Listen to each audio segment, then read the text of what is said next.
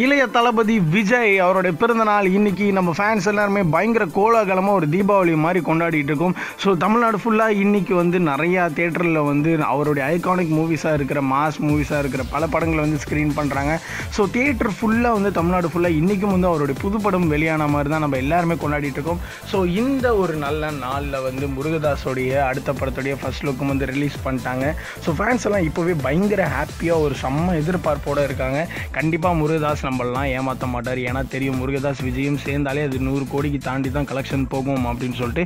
So இந்த நல்ல நாளில் நம்ம தளபதி பற்றி கொஞ்சம் ரீகேப் பார்க்கலாம் அப்படின்னு வந்து தோணுச்சு. ஸோ நாளைய தீர்ப்பு இந்த படம் மூலிமா வந்து தமிழ் சினிமாவுக்கு வந்து அறிமுகமான நம்ம தளபதி வந்து ஃபேஸ் பண்ணாத ஒரு கிரிட்டிசிசமே கண்டிப்பாக கிடையாதுன்னு சொல்லும். ஏன்னா நம்மளாம் வந்து லைஃப்பில் வந்து ஒரு சின்ன ப்ராப்ளம் பார்த்தாலே பயங்கரமாக டவுன் ஆகிடுவோம் ஆனால் ஒட்டுமொத்த தமிழ்நாடே வந்து இவர் ஏற்றுக்கல அப்படிங்கும்போது அந்த இடத்துல வந்து அப்போ இருக்கிற ஒரு பிரபல பத்திரிக்கை வந்து எழுதுகிறாங்க இந்த மூஞ்சியெல்லாம் நம்ம காசு கொடுத்து தேட்டரில் போய் பார்க்கணுமா அப்படின்னு சொல்லிட்டு ஆனால் அதே பத்திரிக்கை தான் ஒரு இருபது வருஷம் கழித்து தமிழ்நாடு ஃபுல்லாக சர்வே பண்ணி இவர் தான் அடுத்த சூப்பர் ஸ்டார் அப்படின்ற ஒரு பட்டத்தை கொண்டு போய் கொடுக்குறாங்க. ஆனால் நம்ம தளபதி வந்து தன்னுடைய வந்து தன்னடக்கத்தோடு வந்து சைலண்ட்டாக ஒரு பிரபல அவார்ட் ஃபங்க்ஷனில் வந்து சொன்ன விஷயம் என்னென்னா எனக்கு அடுத்த சூப்பர் ஸ்டாராக இருக்க வந்து ஆசை கிடையாது. நான் அதை நோக்கி வரல. எனக்கான வேலையை நான் சரியாக பண்ணணும்னு நினச்சேன். எனக்கு இந்த இளைய தளபதியை போதும் அப்படின்னு சொல்கிறது மட்டும் இல்லாமல் நம்ம தலையில் தாங்குற கிரீடம் எவ்வளோ கனமாக இருந்தாலும் நம்ம தலை கனமாக இருக்கக்கூடாது அப்படின்னு வந்து அவர் சொன்னார். ஸோ அந்த சைலன்ஸை வச்சே அவர் வந்து இவ்வளோ கிரிட்டிசிசமை ஃபேஸ் பண்ணி மிகப்பெரிய ஒரு சூப்பர் ஸ்டாராக இந்த ஜென்ரேஷனுக்கு வந்து அவர் வளர்ந்துருக்காரு. தன்னுடைய தலைவராக இருக்கிற ரஜினி அவரை பார்த்து வந்து அண்ணாமலை சீனை நடித்து காமிச்சு தமிழ் சினிமாவுக்கு வந்தவர் இவர். இன்றைக்கி ரஜினிக்கு அடுத்தபடியாக எல்லா விஷயத்திலும் இவர் இருக்கார் தமிழ் சினிமாவில் அப்படின்ற விஷயத்தை வந்து யாராலையும் வந்து கண்டிப்பாக வந்து அது வந்து இல்லை அப்படின்னு சொல்லவே முடியாது. ஏன்னா அந்த அளவுக்கு வந்து இவர் தன்னுடைய உழைப்பை போட்டு இன்றைக்கி ஒரு பாக்ஸ் ஆஃபீஸ் சூப்பர் ஸ்டாராக வந்து இருக்கார். ஸோ நாளை தீர்ப்பு படத்துக்கு அப்புறமா இவருக்கு ஒரு கிரிட்டிசிசம்லாம் வந்த பீரியடில் வந்து தன்னை டெவலப் பண்ணி இவர் கொடுத்த படம் தான் பூவை உனக்காக. ஸோ அந்த படம் வந்து மிக அளவில் ஹிட் ஆச்சு. ஸோ அதுக்கப்புறமா வந்து காதலுக்கு மரியாதை அப்படின்ற ஒரு படம் வந்தது. ஸோ அந்த படம் வந்து இன்றைக்கும் தமிழ் சினிமாவில் வந்து ஒரு ஐகானிக் ரொமான்டிக் மூவி அப்படின்னு நம்ம எடுத்து பார்த்தோம்னா கண்டிப்பாக இந்த படத்தையும் நம்ம சொல்லலாம்.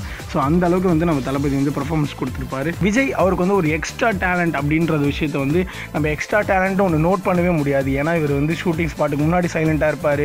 டேக் ரெடி அப்படின்னா வந்து டக்குன்னு வந்து ஒரு எனர்ஜெட்டிக்காக மாறிடுவார்.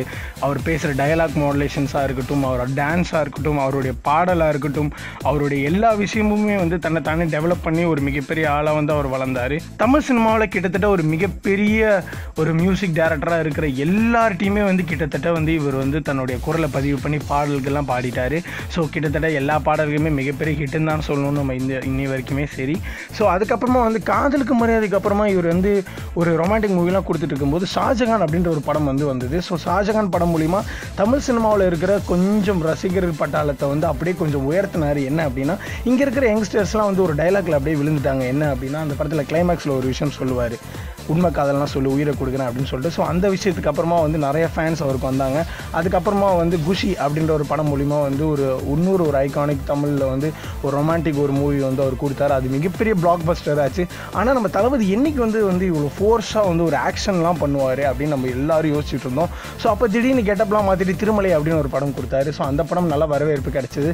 ஸோ இதுக்கப்புறமா வந்து நம்ம விஜய் வந்து இதுக்கப்புறம் வந்து ஃபுல்லாக மாஸ் படம் தான் பண்ண போகிறாருன்னு எதிர்பார்த்துட்டே இருந்தோம். ஸோ அதுக்கேற்ற மாதிரியே நிறைய படங்கள் வந்துச்சு. அதுக்கப்புறமா வந்து போக்கிரி இந்த படம் மூலிமா தமிழ் சினிமாவில் மிகப்பெரிய ஒரு பாக்ஸ் ஆஃபீஸ் சூப்பர் ஸ்டாராக வந்து அவர் மாறினார். இவருக்கு ஒரு கிரிட்டிசிசம் வந்துச்சு. என்ன அப்படின்னா இவர் வந்து இவரை பார்த்து நடிக்கிறாரு மகேஷ் பாபு பார்த்து நடிக்கிறாரு இந்த ஆக்டரை பார்த்து நடிக்கிறாரு அப்படின்னு சொல்லிட்டு அந்த கிரிட்டிசிசமும் வந்து நம்ம தளபதி விட்டே வைக்கல. என்ன அப்படின்னா இன்றைக்கி இவர் நடிக்கிற படம் எல்லாமே பாலிவுட்லையும் சரி மலையாளத்துலேயும் சரி தெலுங்குலையும் சரி அங்கே இருக்கிற சூப்பர் ஸ்டார்லாம் அதை ரீமேக் பண்ணி நடிக்கிறாங்க. இதுதான் மிகப்பெரிய வளர்ச்சி. ஸோ தமிழ்நாட்டில் மட்டும் நம்ம தளபதிக்கு ஃபேன்ஸ் கிடையாது. உலகம் எங்கும் இருக்கிற எல்லா இடத்துலையுமே ஃபேன்ஸ் இருக்காங்க. கேரளாவில் கூட வந்து மிகப்பெரிய அளவில் அங்கே இருக்கிற சூப்பர் ஸ்டார்ஸோட இவருக்கு வந்து நிறைய படங்கள் வந்து கலெக்ஷன் வாங்கி கொடுத்துருக்கு. ஸ்ரீலங்காவில் வந்து மெர்சல் படம் பார்ப்போம். நம்ம ஒரு சில ஃபோட்டோஸ்லாம் வந்து பார்த்துருப்போம். சில போஸ்ட்லாம் பார்த்துருப்போம். அங்கே இருக்கிற நம்ம விஜய் ஃபேன்ஸ்லாம் வந்து அந்த படம் டிலே ஆனதுனால அந்த தேட்டர் வாசல்லே விடிய காத்தால வந்து அப்படியே போய் உட்காந்துட்டு டிவியில் வந்து விஜயோட பழைய படங்கள்லாம் பார்த்துட்டு இருந்தாங்க. ஸோ இந்த அளவுக்கு வந்து அவருக்கு ரொம்ப ஸ்வீட்டாக ஸ்வீட்டான ஃபேன்ஸ் தான் இவர் சம்பாதிச்சு வச்சிருக்காரு தமிழ்நாடு ஃபுல்லாக தமிழ்நாடு ஃபுல்லாக மட்டும் கிடையாது உலகம் எங்கும் தான். ஸோ ஆலப்போரான் தமிழன் அப்படின்ற ஒரு பாடம் மூலிமா தமிழ் சினிமாவுக்கு வந்து ஒரு தமிழ் ஆந்தம் அப்படின்ற மாதிரி ஒரு விஷயத்தை வந்து அவர் கொடுத்தாரு. ஸோ அந்த போக்கிரி படத்துக்கு அப்புறமா நிறைய படங்கள் அவருக்கு சரியாக போகல. ஸோ இதுக்கப்புறம் விஜயோட கரியர் அவ்வளோதான் இவருடைய ஐம்பதாவது படமும் வந்து இந்த அளவுக்கு ஃப்ளாப் ஆகிடுச்சு அப்படின்னு நிறைய கிரிட்டிசிசம் கொடுத்தாங்க. ஆனால் அதையும் நம்ம தளபதி வந்து பிரேக் பண்ணி அதுக்கப்புறமா காவலன் அப்படின்ற ஒரு படம் மூலிமா ஸ்டெடியாக ஒரு ரீஎன்ட்ரி கொடுத்தாரு. ஸோ அதுக்கப்புறமா வந்து வேலாயுதம் அந்த படத்தில் வந்து ஒரு கமர்ஷியல் சக்ஸஸ் கொடுத்தாரு. நண்பன் அப்படின்ற ஒரு படம் மூலிமா சங்கர் இயக்கத்தில் திடீர்னு ரொம்ப நாள் கழித்து நம்ம தளபதி ரொம்ப ஸ்டைலாக பார்க்குறோம் ஒரு டைலாக்லாம் இப்படி மாஸ் பண்ணுறாரு ஒரு யதார்த்தமான டைலாக் இருந்தாலும் அப்படியே செம்மையாக பண்ணுறாரு இந்த படத்தில் ஆக்ஷனே இல்லை. நம்ம தளபதி இவ்வளோ ஸ்டைலாக இனிமேல் நம்ம பார்க்கணும் அப்படின்னு ஆசைப்பட்டுட்டு இருந்தோம். ஸோ அந்த நிலமையில தான் வந்து முருகதாஸ் அப்படின்ற ஒரு விஷயம் வந்து உள்ளே வந்தார். ஸோ அவர் கொடுத்த துப்பாக்கியை நம்ம யாரும் மறக்கவே முடியாது. இன்ன வரைக்கும் தமிழ் சினிமாவில் ரஜினிக்கு அடுத்தபடியாக வந்து ஒரு படம் அண்டர் க்ரோஸ் பாக்ஸ் ஆஃபீஸ் கிடச்சிருக்கு அப்படின்னா கண்டிப்பாக அது விஜய்க்கு தான் நம்ம சொல்லணும். ஸோ அதுக்கப்புறமா வந்து தெரி அப்படின்ற படம் மூலிமா இன்னொரு பிளாக் பஸ்டர் கொடுத்தாரு. அந்த தெரிக்கு அப்புறமா அட்லியோட இணைஞ்ச மெர்சல் தான் நேஷனல் வைஸ். அந்த படம் மிகப்பெரிய அளவில் வந்து ஒரு பெரிய விஷயமா பேசப்பட்டுச்சு. அது எல்லாருக்குமே தெரியும்.